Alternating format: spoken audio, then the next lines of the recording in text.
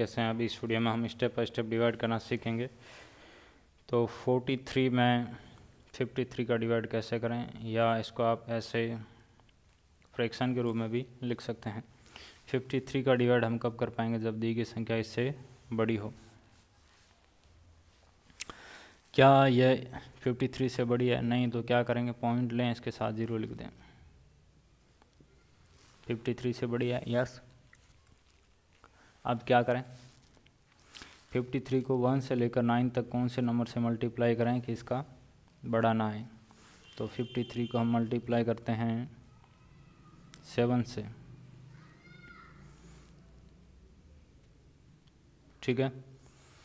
या 53 को हम मल्टीप्लाई करते हैं किससे? एट से। तो चौबीस दो के लिए चला गया चालीस और दो।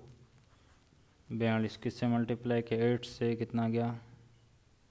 फिर माइनस किया, कितना गया? सिक्स पॉइंट लगा रखा है तो क्या करना है? माइनस करते ही जो संख्या आ रही है, उसके साथ ज़ीरो लिख देना किसकी वजह से? इस पॉइंट की वजह से। भाग गया एक बार कितना गया? फिफ्टी थ्री माइनस किया, कितना गया? सेवन पॉइंट लगा रखा है तो ज़ीरो आ जाएगा। फिर इस प्रकार से आपका आगे डिवाइड चलता रहेगा। ये क्या है?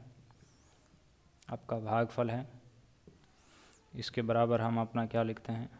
भागफल लिखते हैं।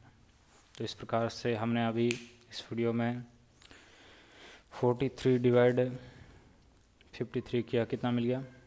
ज़ीरो पॉइंट एट वन मिल रहा है।